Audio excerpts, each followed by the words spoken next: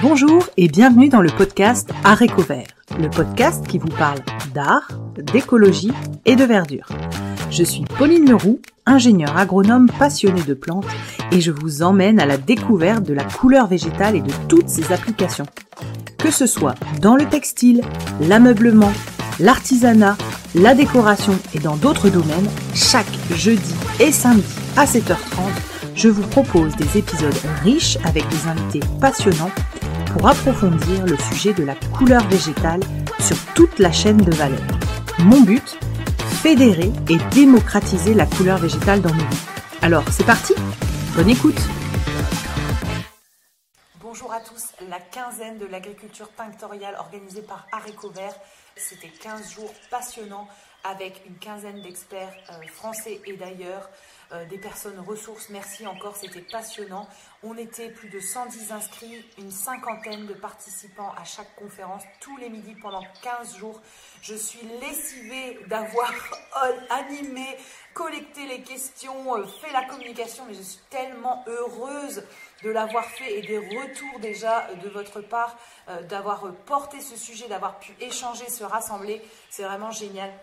Je voulais vous faire une synthèse de mes ressentis par rapport à tout ça suite à euh, plus d'un an de podcast et de, de cette observation de filière de l'extérieur. Je voulais vous dire que ce que je constate, c'est qu'il faut qu'on se fasse connaître encore plus et reconnaître. Donc se faire connaître comment eh bien, en parlant encore plus, donc ce podcast à Vert qui peut aider à euh, faire parler de la couleur végétale, mais aussi vos actions à vous au quotidien, d'animer des ateliers auprès des enfants, dans les lieux publics, dans les musées, de faire des expos, de faire des démonstrations.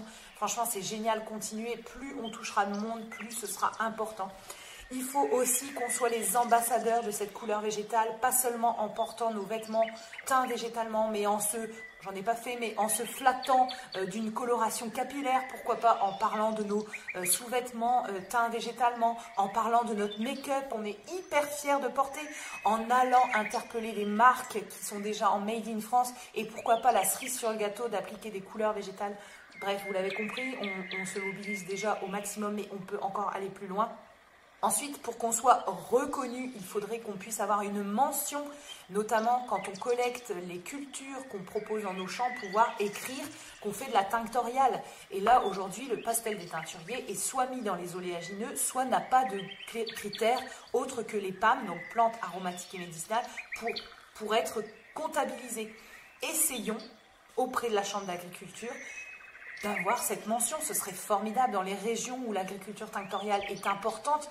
Essayons aussi de mettre ça en place. Il faut aussi apporter des preuves, des preuves au-delà des témoignages qu'on reçoit sur le podcast, il faut apporter des preuves scientifiques, factuelles de l'intérêt des couleurs végétales, notamment enlever tous ces préjugés qui, qui, leur collent à la peau et que je combats depuis un an.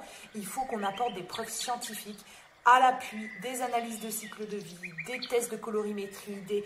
Voilà, il faut prouver scientifiquement ce qu'on avance parce qu'en face de nous, on a du lourd et que les personnes qui défendent depuis des années les colorants de synthèse n'ont pas envie de voir débarquer des colorants végétaux plus complexes à travailler, mais qui ont aussi des avantages. L'idée, c'est pas d'être que sur du végétal, c'est pas possible. Mais l'idée, c'est de faire coexister les deux avec bon sens, mais que la place et l'importance que prend la teinture végétale, la coloration capillaire végétale et tous les emplois de la couleur végétale soient plus répandus. En tout cas, c'est ce que je pense. Il faut qu'on soit à la hauteur des personnes qu'on a en face de nous, il faut qu'on monte le niveau. Deuxième point hyper important, il faut qu'on se mutualise et qu'on se fédère autour, pourquoi pas, d'un média. On est le seul pays à avoir un média autour de ce, sujet. Il faut désiloter les applications de la couleur végétale. Depuis le début de ce podcast à Vert, je ne veux pas qu'on parle que de teinture, je veux qu'on parle de coloration capillaire, de biomatériaux, cosmétiques, de savonnerie, de, bioplastique, d'encre, de beaux-arts, de... Enfin, il y a tellement de trucs, même dans la chirurgie, même dans l'anatomocytopathologie, les domaines de médecine imprononçables dans lesquels on utilise la couleur végétale. Les débouchés euh, sont énorme, énorme, et ça donne trop envie de se mobiliser. Donc désiloter ces applications, faire des échanges entre ces différents silos pour qu'il n'y ait plus de silos et qu'on puisse mutualiser les ressources. Il y a plusieurs plantes tinctorial dont les teinturiers se serviraient de la partie racinaire et la cosmétique de la partie foliaire. Donc il faut y aller, il y a plein d'exemples. Partage et mise en commun, il y a des sites euh, américains, je pense, qui euh, partagent les, différents, les différents essais agronomiques qui sont faits. J'ai testé telle plante en association de telle plante, j'ai fait tel parcours agronomique, tel itinéraire technique, et voilà ce que j'en retiens. Il faut mutualiser tout ça pour qu'on gagne du temps. Ensuite, je pense qu'il faut s'appuyer sur la connaissance scientifique. Alors, je ne sais pas si c'est par rapport à mon parcours, mais je pense que c'est hyper important.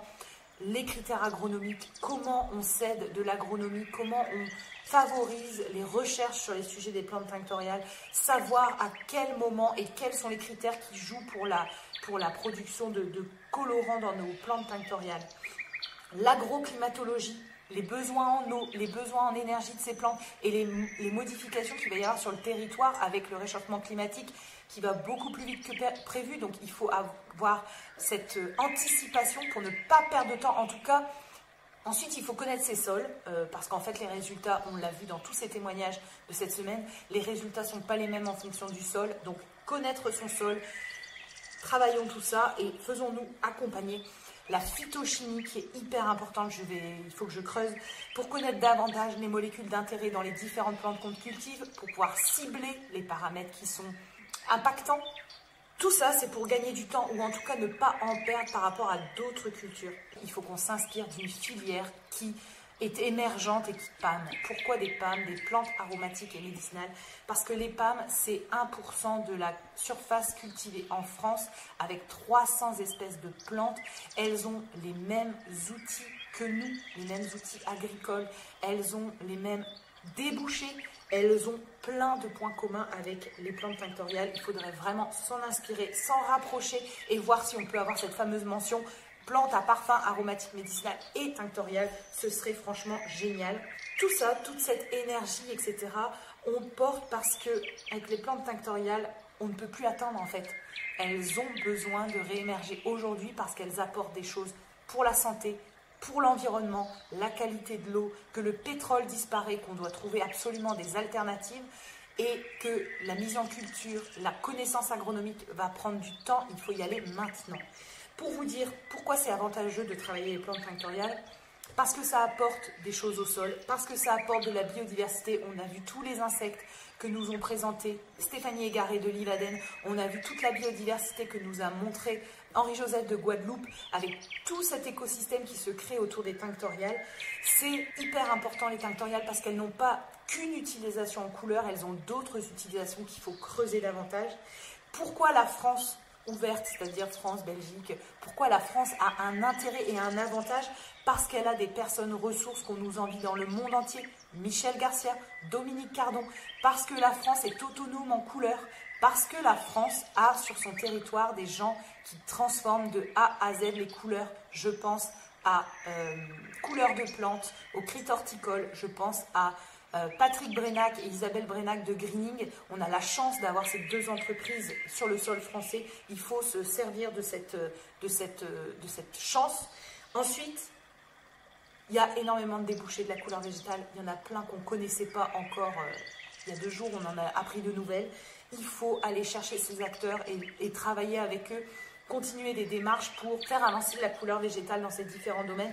En fait, globalement, partout où il y a de la couleur, partout la couleur végétale a sa place. C'est à nous d'aller faire la démarche, de prouver que ça fonctionne. En tout cas, pour vous dire que, que je me régale sur ce sujet et j'ai tellement envie de mettre mon énergie pour qu'on avance sur tout ça et que dans quelques mois, on se retrouve en octobre et qu'on ait énormément d'avancées sur la partie agriculture, la partie débouchée, que les, mutualisations se fassent, que les échanges entre différents silos se cassent, que les pays, qu'on ait les témoignages d'autres pays sur le podcast Aréco Vert. Bref, en tout cas, vous le savez, je ne manque pas d'énergie, j'ai vraiment envie d'y aller. Euh, donc, je vais vous proposer à la fin de cette quinzaine tinctoriale le fameux pack ce pack, c'est le regroupement de tout ce qui s'est dit pendant 15 jours, les liens, les conférences, euh, les documents, etc., euh, que, qu'on m'autorise à partager. L'idée, c'est que ce pack vienne soutenir le travail euh, qui est déjà proposé par, le podcast à Vert et que ce budget récolté, entre guillemets, servent à organiser la version de l'automne. Donc je vous donne rendez-vous tout de suite à bloquer dans vos agendas le 14, du 14 au 18 octobre 2024. On fera un bilan des avancées, des sujets qu'on aura réussi à soulever euh, sur tout ce qui a été mentionné pendant cette quinzaine tinctoriale et on ira plus loin. Le but, c'est qu'on avance ensemble sur les couleurs végétales parce qu'on ne peut plus attendre. Ça a assez, euh, ça a assez mijoté dans l'ombre. Maintenant, on y va. Écoutez, je vous remercie. Je, euh, vraiment, je remercie les invités pour leur, pour leur passion et je vous dis à l'automne pour la suite de cette fameuse quinzaine tinctoriale. Je vous invite à aller consulter les autres épisodes Zoom ou les épisodes avec les invités et aller sur la page Instagram Arécovert, A-R-T-E-C-O-V-E-R-T, pour y retrouver et deviner les futurs invités du podcast, mais notamment retrouver des sources écrites de tout ce que nous abordons dans les épisodes Zoom. Belle journée à tous!